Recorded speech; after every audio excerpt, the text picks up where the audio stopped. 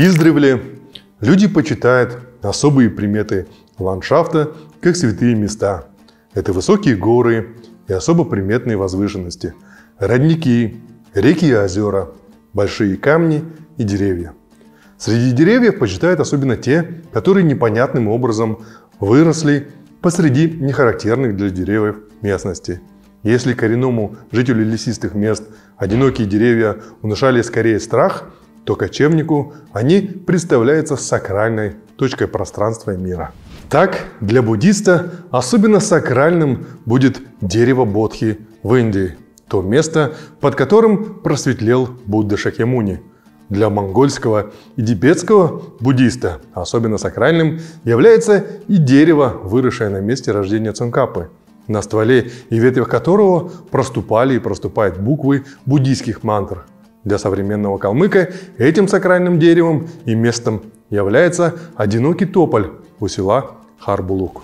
Однако мы расскажем вам о другом дереве.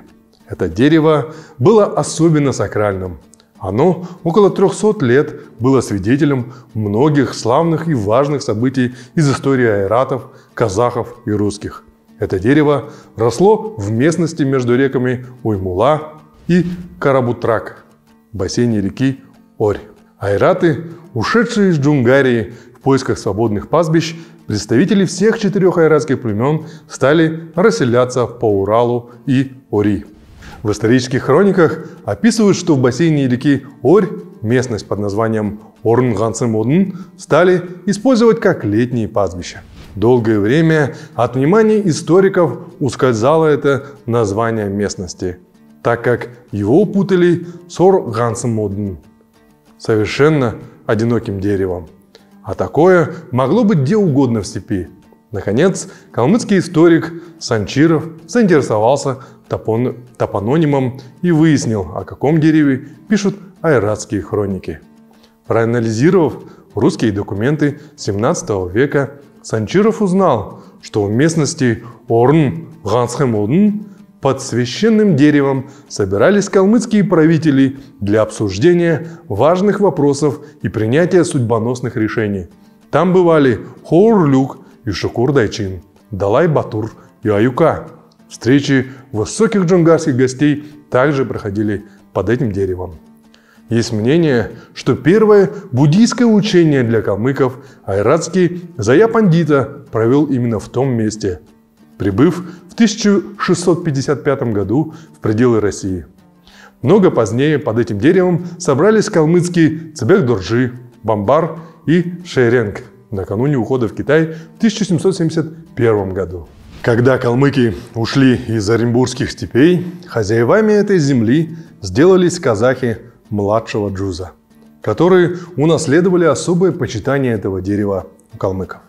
Есть сведения о том, что хан младшего, младшего джуза Абул-Хаир, бывший 1719 года ханом всех казахов, пребывал у этого дерева в 47-48 годах, ведя переписку с высокопоставленными российскими дипломатами. В мае 1847 года по тем местам проезжал известный писатель Тарас Шевченко, который увидел и даже зарисовал это дерево. Он так описал встречу с ним. В верстах двух от дороги в ложбине зеленело тополевое старое дерево.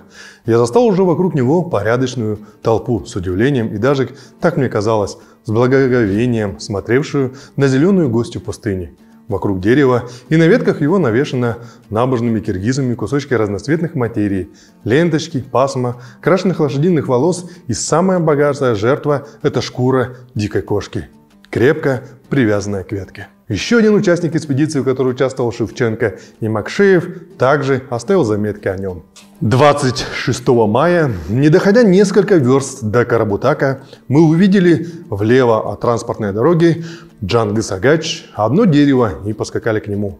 Это единственное на всем пути от Орска до Раима дерево. Было толщиной у корня сажень в две в обхвате и вышиною сажен в пять. На нем было гнездо тальги, птицы, из породы орлов. Киргизы считали это дерево священным, а улье и украшали его. Казахи, особо почитавшие это дерево, называли его Джангыс-Агач, что означает «одинокое дерево». Встреча Шевченко со степной святыней вдохновила писателя на акварельный рисунок и стихотворение «У Бога за дверью лежала секира». Мы публикуем акварель Тараса Шевченко и обещаем, что в ближайшее время продолжим публикацию об этой святыне. Геннадий Корнеев. Команда канала ЗАН Онлайн благодарит за финансовую и моральную поддержку всех неравнодушных земляков. Большое спасибо. Благодаря вам мы можем и дальше оставаться независимыми ни от каких политических сил. Реквизиты оказания помощи вы сможете найти в описании под видео. С уважением, Максим Цыденов.